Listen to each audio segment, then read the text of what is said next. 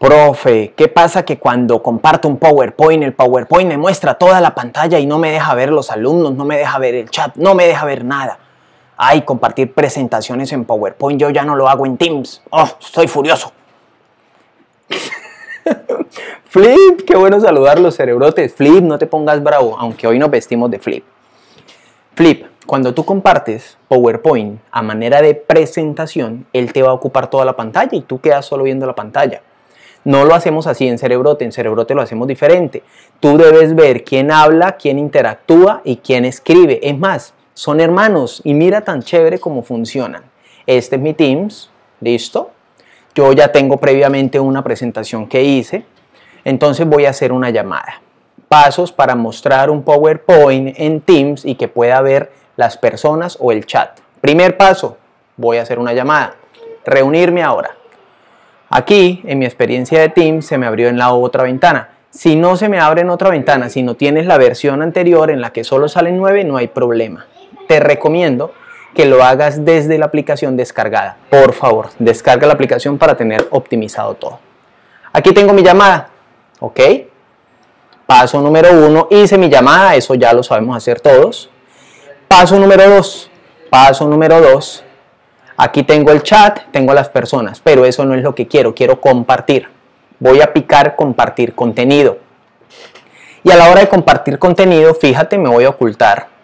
A la hora de compartir contenido me salen varias opciones, escritorio, ventana y PowerPoint. Inclusive aquí la pizarra que ya la hemos visto bastante. Voy a entrar por este menú, por el menú que está acá, que se llama PowerPoint. Pero como no está aquí mi presentación, debo subirla, debo cargarla. ¿Por dónde la cargo? Por examinar. Entonces, fíjense, creo que lo puedo ver un poco más grande, no, no amplía más. Examinar. Clic en examinar. Me dice cargar desde mi computadora o desde mi disco duro que se llama OneDrive. No, yo la tengo aquí en mi computadora. Cargar desde mi computadora. La tengo en documentos. Voy aquí en documentos a decirle que la presentación se llama presentación cerebrote y que la abra Miren esta belleza. Se demora 5, 3, 2, 1 minuto. A mí me funciona rápido porque es bastante liviana. Y miren lo que está pasando. Esto, esto es lo que está viendo el alumno en la pantalla completa, en toda la pantalla. Y tú sigues teniendo el poder de silenciar a la gente, sigues teniendo el poder de levantar las manos, de ver quién levanta la manito.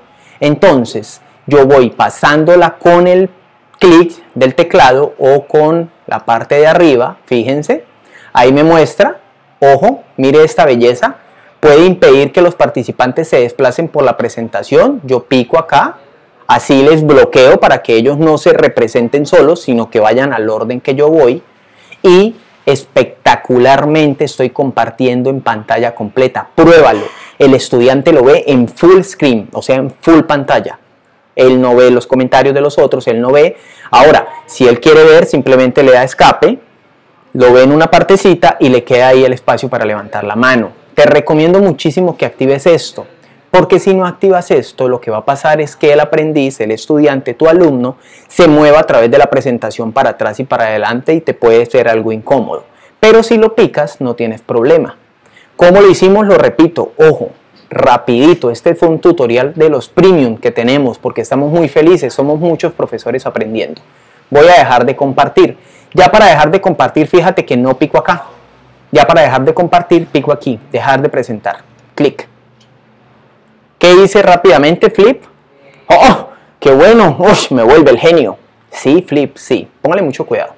Primero, vine a la llamada. Ya tengo la llamada, estoy en una llamada.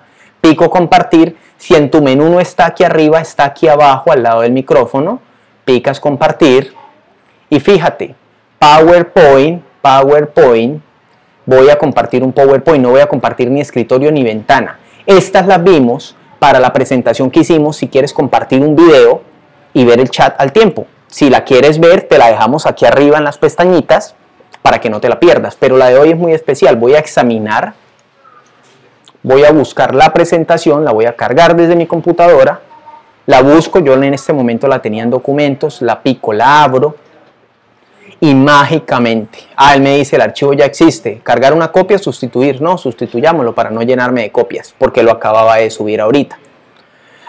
Y él entra, cuando entra, empieza a compartir desde la página 1, desde la página 1 de PowerPoint, de la presentación. Si tiene animación ahí sale, si tiene estrellitas, uy, PowerPoint es espectacular. Vamos a dedicarle un tiempo a PowerPoint, pero hoy estamos aquí compartiéndolo. Aquí me muevo para adelante, me muevo para atrás y ojo, el rayito tiene que atravesar el ojo. Si está el rayito sin atravesar el ojo, ellos se pueden mover. Ellos son las personas que están al otro lado, se pueden mover por tu presentación. A mí no me gusta tanto eso, a mí me gusta más colocarle ojito, la rayita, y cuando está la rayita aquí en el ojito, tú vas a entender que ellos no se pueden mover para adelante ni para atrás. Bien, si es en la versión anterior de Teams, funciona exactamente igual. Por compartir no vas ni a escritorio completo ni a ventana si no entras por PPT. ¿Y por qué pasa eso? Porque Teams y PowerPoint son hermanos gemelos, son hermanos de sangre. Word, Excel, PowerPoint y Teams y varios más que vamos a ir viendo son hermanos de sangre, son hijos de los mismos papás. Y por ser hijos, pues se llevan supremamente bien, ¿cierto? Esto es Cerebrote, estoy supremamente feliz. Miren, como les decía, traemos a Flip. Ah, hermosísimo. Venimos con muchas sorpresas, con muchas, con muchas. Aquí te dejamos, hemos hecho cursos de Teams, estamos haciendo talleres los sábados, es impresionante lo que hemos hecho. Aquí en la descripción te dejamos el curso de Teams y también para el taller del sábado que viene, suscríbete porque, no sé, en estos días vamos a lanzar el formulario. Son solo 250 cupos y es para que todos nos metamos totalmente gratis. Yo soy Luis Fernando Botero, gracias hoy a Flip. ¡Oh! Gracias a ti, ahora sí puedo verlo todo. Y aquí, aquí, aquí te va a salir una bolita. Simplemente te suscribes para que no te pierdas nada de Cerebrote. Y aquí te vamos a dejar dos videos. Uno de ellos, que es el de aquí arriba, es para que compartas cualquier video, pantalla o lo que sea y veas el chat al lado. Yo soy Luis Fernando Botero. Adiós.